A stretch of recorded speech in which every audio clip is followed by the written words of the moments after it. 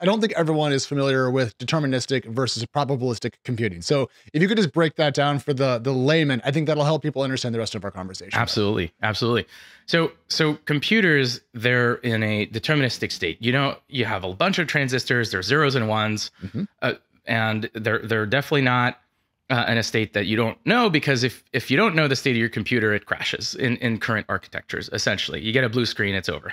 And then you know, I came from a different world originally from from quantum computing, where there it, we're using quantum physics, which is like superpositions, and you have any noise there, it, it crashes. Same thing, right? So it, it seemed to me like okay, well, to scale quantum or scale deterministic computers, the bane of our existence is noise. So randomness just from the jitter of matter, of electrons, of radiation, whatever it is, sources of noise come in, seep into your system, and add entropy. They add uncertainty as to the state of the, the computer. And that's usually a problem.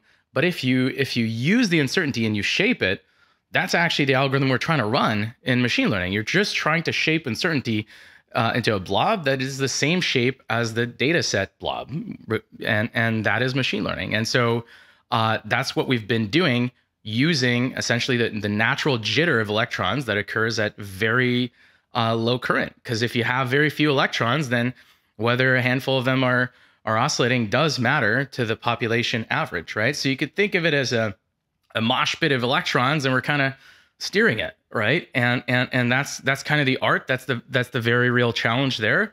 And uh, you know, we're creating software and compilers to compile well-known textbook algorithms onto onto the physics of this device, onto the physics of this mosh pit of electrons. Okay, so deterministic compute, everyone knows is what we use today. Yeah. Quantum computing, everyone knows that we're working on it. Yeah. All the majors are. You worked on this at Alphabet. I know yep. Microsoft, Amazon, everyone's working on quantum.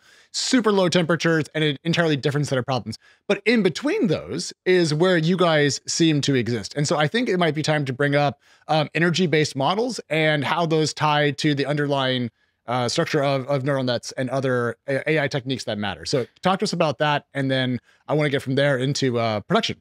Yeah, for sure. So energy based models are both very old and cutting edge at the same time. There's kind of uh, some founding fathers of, of, of deep learning and AI that are big fans of them. Uh, Yann LeCun uh, has an active working group and uh, working on energy based models at Meta. Uh, but originally, they're you know back propagation uh, algorithm we use to train neural networks came from Geoffrey Hinton, who is working on how to train networks of these energy based models. Mm-hmm. And if you look at averages of energy based models, averages of their input inputs and outputs, because naturally they're, they're more of a distribution, they're a probability distribution over outputs. Yes. But if you just look at the average, then that's how we actually got neural networks.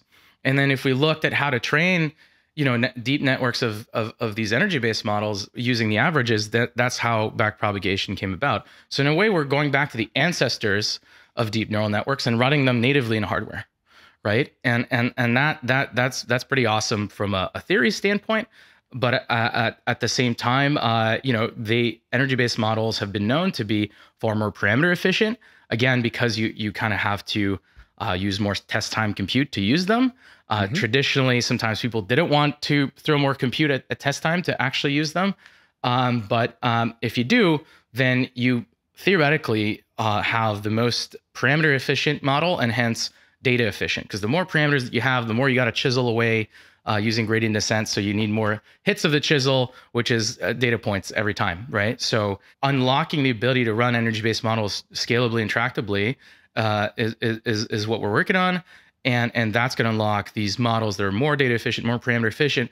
They use far more compute, but if compute is 10,000x cheaper for us in terms then of why do we care? Why exactly. not just use 100,000x, you know, 10 exactly. X? Exactly, right? And so so we've been not only working on the hardware, but we've also been working on on the algorithms in order to to uh, you know uh, uh, get people to use more energy based models, right? So yeah. how to uh, modified diffusion models uh, to use more energy based models is some research we've been doing, for example.